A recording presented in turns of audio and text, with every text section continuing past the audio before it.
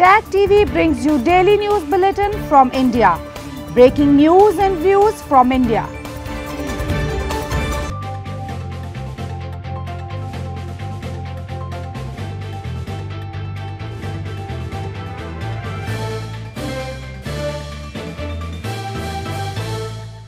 Good evening. Welcome to South Asia Newsline. I'm Shreyasa Vijay. Here are the top stories we are tracking for you on Thursday, the 18th of June. India's Interior Minister reviews COVID-19 situation in Delhi NCR amid rising cases. COVID-19 cases surged despite partial lockdown in Pakistan. and Sri Lankan president assures free and fair general elections amid pandemic. And now for all the details.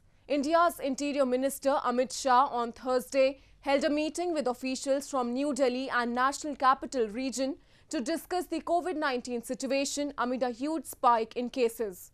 India's coronavirus cases tally reached to 366,946 on Thursday with over 12,000 deaths. India's Interior Minister Amit Shah on Thursday reviewed the coronavirus situation in Delhi and the National Capital Region or NCR amid increasing number of COVID-19 cases. Shah reviewed the steps taken to check the spread of the deadly virus. The movement of people between Delhi and NCR, which comprises districts of Haryana, Uttar Pradesh, and Rajasthan provinces, was also discussed in the meeting, reports suggested. Meanwhile, Health Minister Dr. Harshvardhan launched India's first mobile lab for COVID 19 testing to promote testing access in rural areas. The Infectious Disease Diag Lab or iLab is supported by the Department of Biotechnology under the COVID Command Strategy. The mobile lab will be deployed in the interior, inaccessible parts of India.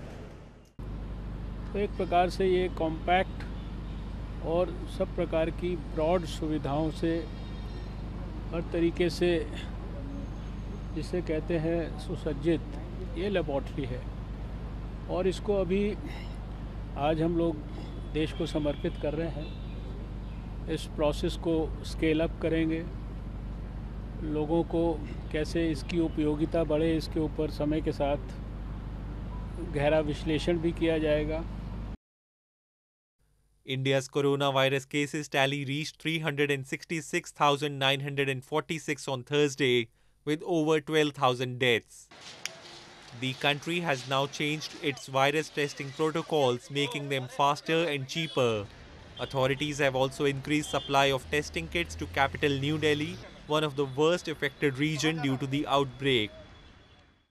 India on Thursday held funerals for some of the 20 soldiers killed in violent border face-off with Chinese troops earlier this week as the nuclear-armed rivals sought to diffuse tensions.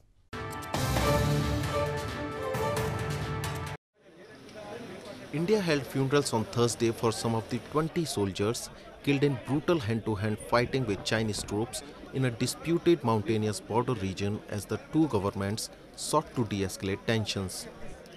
Dozens of people lined the streets in Suryapet town in southern Telangana province as the body of Army Colonel B. Santosh Babu, wrapped in the Indian flag, was brought home and taken for last rites. Funerals of other soldiers also took place in their hometowns and villages. Indian Foreign Minister S. Jaishankar on Wednesday spoke to his Chinese counterpart Wang Yi over phone and the two sides agreed not to take any steps to escalate matters. But both blamed each other for the deadliest border clash since 1967 and said they must rein in their troops.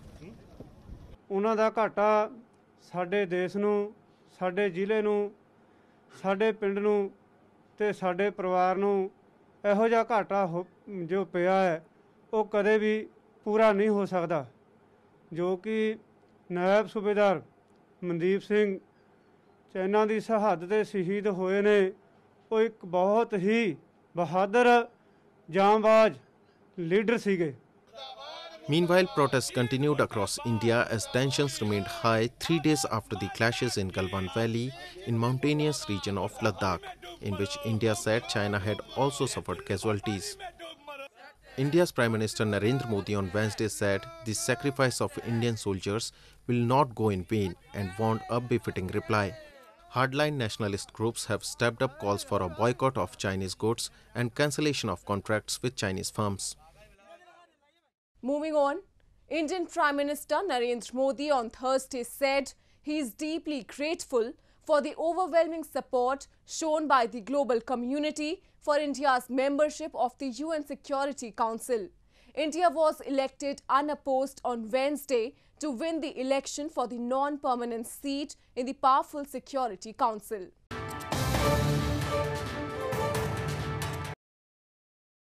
Indian Prime Minister Narendra Modi on Thursday said on Twitter that he was deeply grateful for the overwhelming support shown by the global community for India's membership of the UN Security Council and said India will work with all member countries to promote global peace, security, resilience and equity. India garnered 184 votes out of the 192 ballots cast in the General Assembly to win the election for the non-permanent seat in the powerful Security Council on Wednesday. To ensure geographical representation, seats are allocated to regional groups. India's two-year term will begin on January 1st, 2021. We will be working with member states of the United Nations in our collective endeavor to promote responsible and inclusive solutions to international peace and security. And we also want to promote a very strong but reformed multilateral system, which will also be befitting the uh, 75th anniversary of the founding of the United Nations, which we will be celebrating this year. The Security Council is the only UN body that can make legally binding decisions like imposing sanctions and authorizing the use of force. It has five permanent veto wielding members the United States, Britain, France, China, and Russia. In news from Pakistan, the number of coronavirus cases in Pakistan on Thursday reached 160,118 with at least 3,063 deaths reported so far. The virus cases have increased manyfold in the country since the government eased a lockdown in the second week of May after a partial shutdown of about two months. Alarmed by the rising infections cases, the authorities have again started shutting down residential localities in big cities like Lahore and capital Islamabad. Pakistan on Thursday reported 160,118 cases of the novel coronavirus and 3,093 associated deaths. The rate of daily COVID 19 cases has been rising fast in the country of 207 million, a point noted by the World Health Organization in a letter to Pakistani authorities last week. Citing the outbreak, Pakistan has sealed off parts of its densely populated Lahore city for the next two weeks after authorities said they will reimpose strict lockdowns in selected areas of several cities amid the coronavirus outbreak. ये बीमारी जितनी तेज़ी से फैल रही है ना इसको कंट्रोल करने के लिए लॉकडाउन का होना बड़ा ज़रूरी है और लोगों में इतना अवेयरनेस नहीं है लोगों को नहीं शौक वैसे ही देखें चलते फिर अभी अब देखें कितने लोगों ने मास्क लगाया और नहीं लगाया Meanwhile, parts of Pakistan's capital Islamabad as well as Peshawar are witnessing similar measures enforced, officials said, with more cities expected to follow suit. The South Asian country lifted its countrywide lockdown on May 9, citing economic stress and has since seen infection rates rise. Afghanistan remained the world's deadliest conflict for children last year. The United Nations has said in a report released this week. The report says that 874 children were killed by the war throughout 2019. The United Nations, in a report released this week, has said the war in Afghanistan was the world's deadliest conflict for children last year, a status the country has held for five consecutive years. The UN report says that 874 children were killed by the war throughout 2019. It adds that these numbers were among the 3,410 young Afghans who suffered from grave violations, which included maiming, abduction, sexual abuse, and attacks at schools and hospitals. In the report, militant group Taliban has been blamed for causing over 1,238 child deaths and injuries, the largest number attributed to any single group. Meanwhile, the report has attributed just under a third of the child deaths and injuries documented to pro government forces, including 248 that were attributed to international forces. This comes as a new report by the Afghanistan Statistics and Information Authority says that from an estimated 32.9 million population in the country, 15.3 million are under 15 years of age.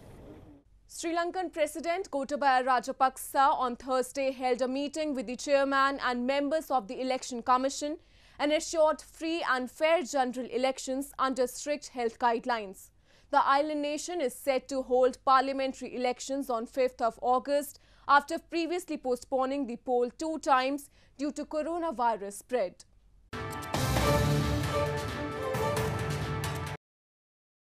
Sri Lankan President Gotabaya Rajapaksa on Thursday met the chairman and members of the Election Commission and assured to create the background to hold a free and fair election while giving priority to the health protection of the people amid the coronavirus pandemic. Sri Lanka's Election Commission last week set the country's parliamentary election date for August 5 after previously postponing the poll due to spread of the novel coronavirus. The original date was April 26, which had been postponed to June 20 before last week's move.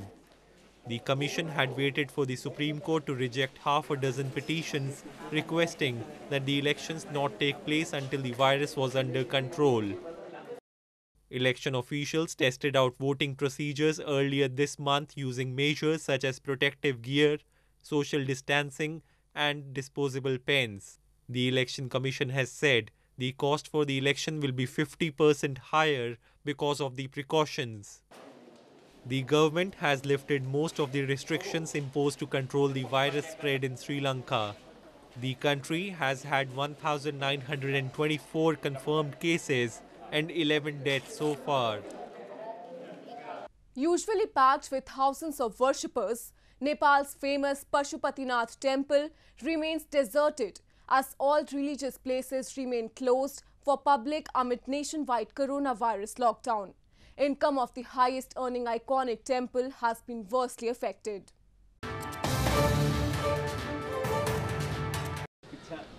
As Nepal's government has closed all religious places around the country for indefinite time amid the coronavirus outbreak, income of the famous Pashupatinath temple has been worstly affected. The iconic temple, which stands as highest earning temple in Nepal, is closed for general public for over two months now. Figures released by the temple's trust suggest they are losing over 4,084 US dollars on daily basis due to the pandemic and the lockdown imposed to control it. आउँदाखेरि त यहाँ अब यहाँ लगभग यहाँबाट तलबाट पनि हामी उजेश्वरीतिर जान्थ्यौँ गुजेश्वरी यता माथि निस्किन्थेँ अब अहिले त टोटल्ली खाली छ अहिले टोटल्ली खाली पनि छ र ढोका पनि लगाइरहेको छ अब मान्छे पनि छैनन् यहाँ अहिले पनि हेर्दाखेरि पनि कहीँ पनि मान्छे पनि छैनन् लकडाउन पछि त एकदम स्थिति गम्भीर छ यहाँनिर Temple authorities have closed the major entrance of the temple and the evening time prayers are being held by priests alone. The temple used to be packed with devotees and worshippers during the evening prayers daily before the coronavirus lockdown. Nepal has so far reported 7,177 cases of coronavirus with 20 associated deaths. Well, that's all we have for you from South Asia this evening. Now, viewers can watch the show on southasianewsline.com. You can also visit us on facebook.com slash sasianewsline and follow us on Twitter at sasianewsline.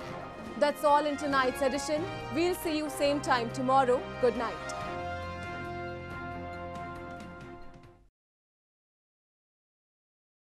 Subscribe TAG TV YouTube channel and press the notification button.